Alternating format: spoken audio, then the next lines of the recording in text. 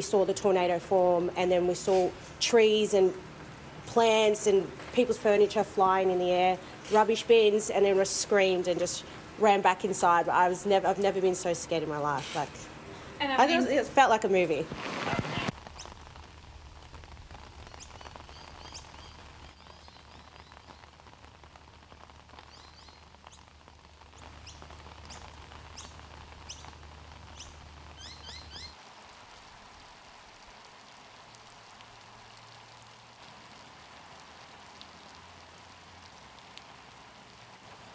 Regrettably, this will be a prolonged event, and none of us uh, are out of the woods.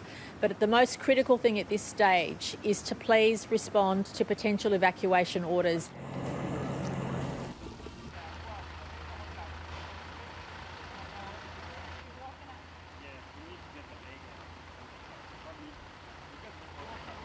The message is very, very clear. Do not walk through, do not drive through floodwaters. Do not drive over water that is covering a road.